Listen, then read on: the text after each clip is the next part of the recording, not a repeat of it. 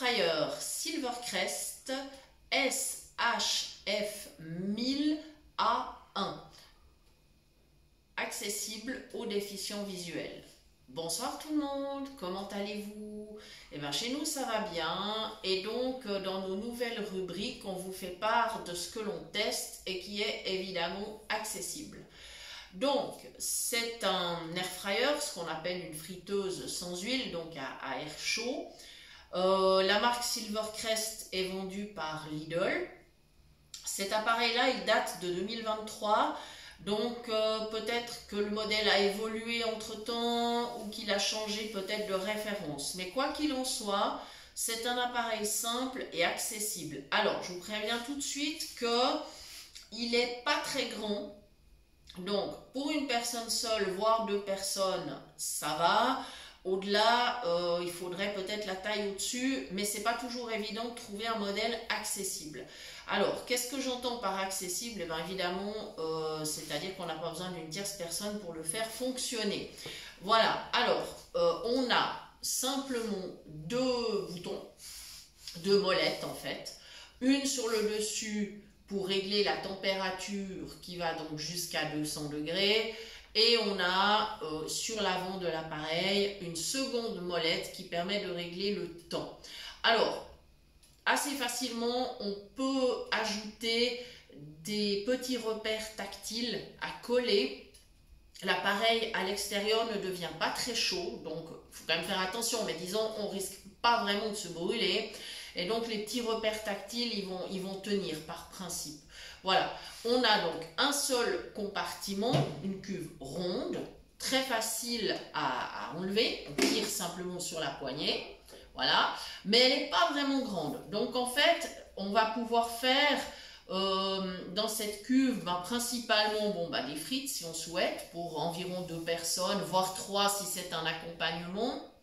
On pourra faire cuire euh, peut-être une, petite tarte. Je vais essayer tout à l'heure d'ailleurs. J'ai envie d'essayer une petite tarte. J'ai fait de la pâte, elle est dans le frigo, donc euh, voilà.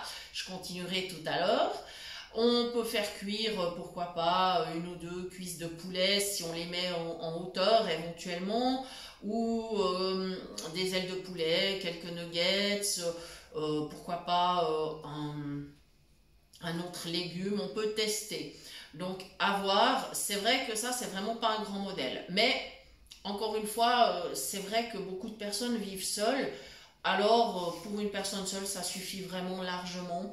Très facile à nettoyer également. Cette partie-là, donc la cuve, on peut la mettre dans le lave-vaisselle si on souhaite.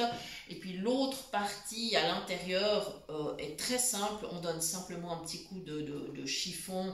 Euh, s'il y a un petit peu de gras qui a giclé, ben évidemment on insiste un petit peu avec de l'eau bien chaude mais disons, ça se nettoie vraiment très, très, très, très bien.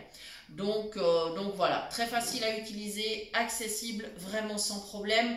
Le cordon, ah, il a une longueur, elle n'est pas exceptionnelle, mais enfin, sur un plan de travail, euh, si vous avez une prise qui n'est pas trop loin, ça ira. Sinon, il faudra envisager la rallonge voilà.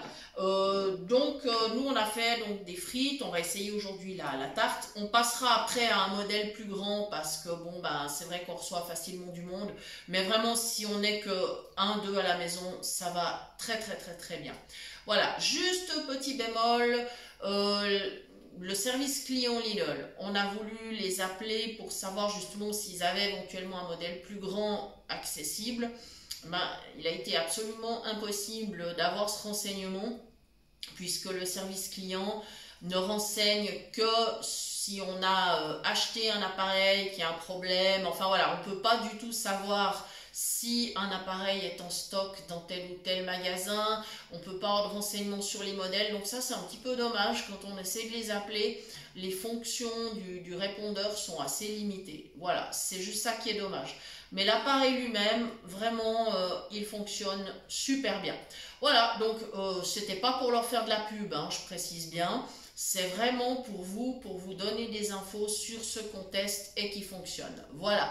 Alors, passez une belle soirée. On se retrouve très bientôt d'ailleurs pour euh, de nouvelles recettes. Merci